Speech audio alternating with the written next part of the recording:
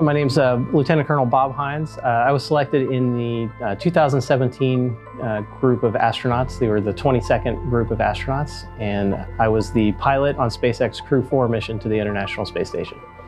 Now, being in the Air Force, uh, it just opened so many doors for me. Uh, I, I always wanted to fly and be a pilot for as long as I could remember. Uh, and so the Air Force was a very natural place uh, for me to land, no, no pun intended.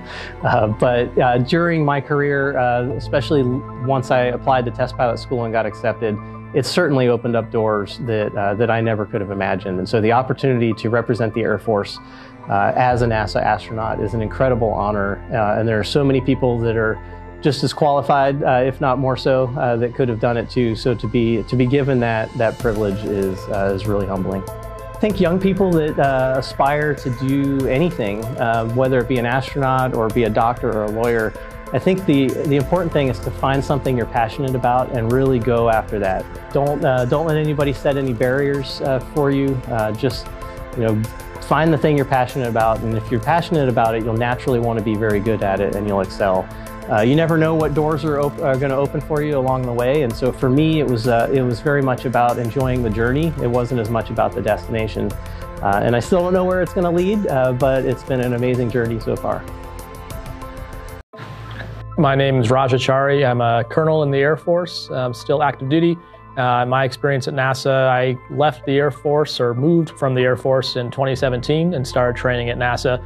I did about two years of what we call astronaut candidate training and then started working in the commercial crew program and I got assigned to fly. Flew on the Crew 3 Dragon mission to the space station, spent about six months up there, and now I work on the Lunar Lander program for NASA.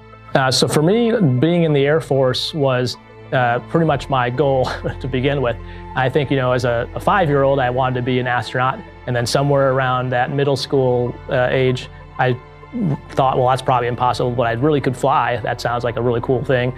Um, and so that really became my goal. And along the way, I was very interested in space and doing things that enabled space, but it really wasn't until test pilot school that it dawned on me that, oh, actually, there's a path to, to flying in space. And I think, um, you know, being an Air Force pilot, it's not just unique to the pilot career profession. I think really almost any career field in the Air Force, you have this blend of operational decision making, risk management, and also doing those things while the mission is happening and, and being dynamic.